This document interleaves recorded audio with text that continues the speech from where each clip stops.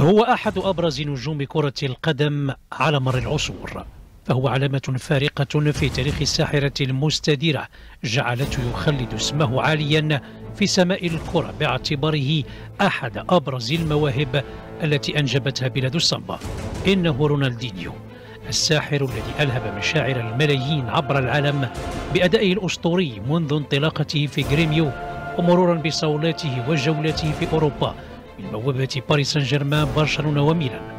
لكن يبدو أن هذا النجم يواجه مشاكل مادية كبيرة في بلده الأم وهو ما كشفته وسائل إعلام برازيلية.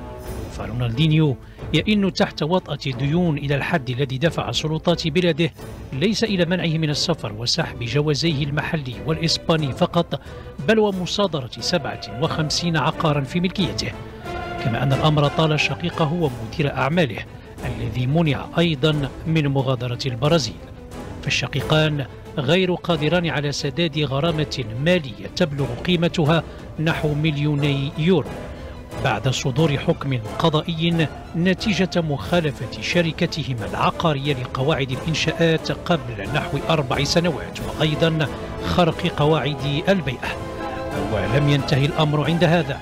بل أفادت مصادر إعلامية أن سلطات الضرائب البرازيلية لم تجد سوى دولارات معدودة في حساب رونالدينيو البنكي وهو الذي كان راتبه بملايين الدولارات في عز مجده وتألقه.